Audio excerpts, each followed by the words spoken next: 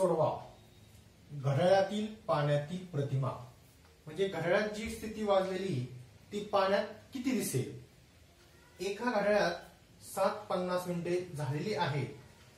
तर त्या घड्याळात पाण्यातील प्रतिमा किती वाजले असतील? म्हणजे ह्या स्थितीमध्ये घड्याळ आहे.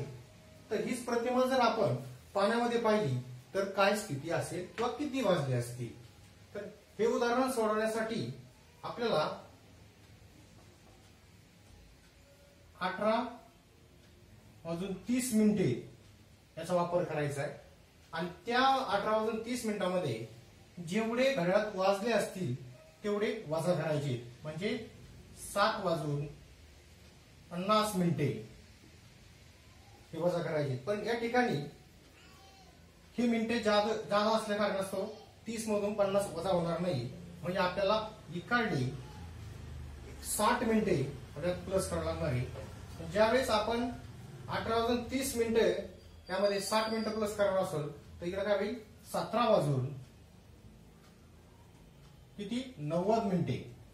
म्हणजेच सात वाजून पन्नास मिनिटे वजा करता येतील. आणि सात नव्वद मधून पन्नास वजा गेले खाली राहिले चाळीस. सतरा मधून सात गेले खाली राहिले दहा. म्हणजे या ठिकाणी आत- सात घड्याळात सात वाजून पन्नास मिनिटे झाले असता तीच प्रतिभा आपण जर पाण्यात पाहिली असता ती घड्याळामध्ये दहा वाजून दहा वाजून चाळीस मिनिटे ही स्थिती दिसेल.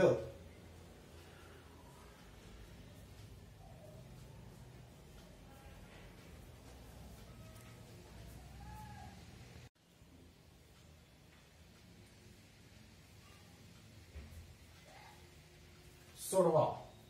घड्याळातील पाण्यातील प्रतिमा. म्हणजे घड्याळात जी स्थिती वाजलेली ती पाण्यात किती दिसेल? एका घड्याळात सात पन्नास मिनिटे झालेली आहे. तर त्या घड्याळात पाण्यातील प्रतिमा किती वाजले असतील? म्हणजे ह्या स्थितीमध्ये घड्याळ आहे. तर हीच प्रतिमा जर आपण पाण्यामध्ये पाहिली तर काय स्थिती असेल? किंवा किती वाजले असतील? तर हे उदाहरण सोडवण्यासाठी आपल्याला अठरा वाजून तीस मिनिटे याचा वापर करायचा आहे. आणि त्या अठरा वाजून तीस मिनिटामध्ये जेवढे घड्याळात वाजले असतील तेवढे वाजा करायचे. म्हणजे सात वाजून पन्नास मिनिटे हे वजा करायचे. पण या ठिकाणी ही मिनिटे जादा जादा असल्या कारणास्तव तीस मधून पन्नास वजा होणार नाही. म्हणजे आपल्याला इकडली साठ मिनिटे प्लस करावं लागणार आहे. ज्यावेळेस आपण अठरा वाजून तीस मिनिटं त्यामध्ये साठ मिनिटं प्लस करावं असेल तर इकडे काय होईल? सतरा वाजून किती? नव्वद मिनिटे. म्हणजेच सात वाजून पन्नास मिनिटे वजा करता येतील. आणि सात नव्वद मधून पन्नास वजा गेले खाली राहिले चाळीस. सतरा मधून सात गेले खाली राहिले दहा.